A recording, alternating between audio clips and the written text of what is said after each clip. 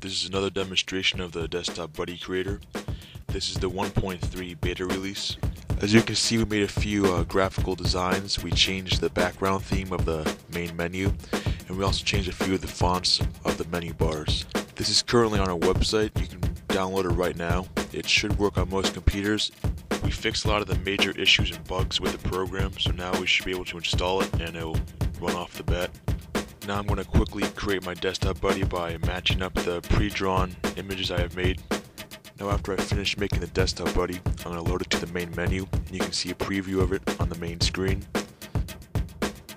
Now I'm going to press the run button and it should appear on the screen.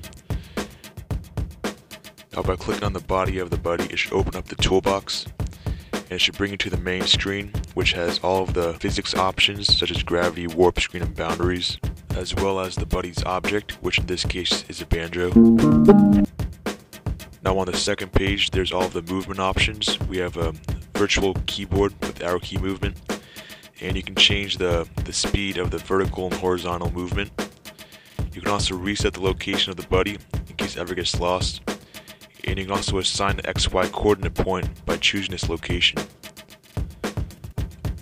Now on the third page, there's the speech tab. Buddy can hold five different phrases that the user can type in.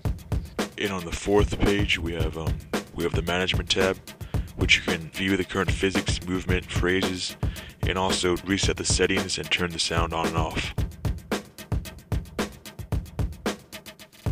This has been a quick overview of the Desktop Buddy creator.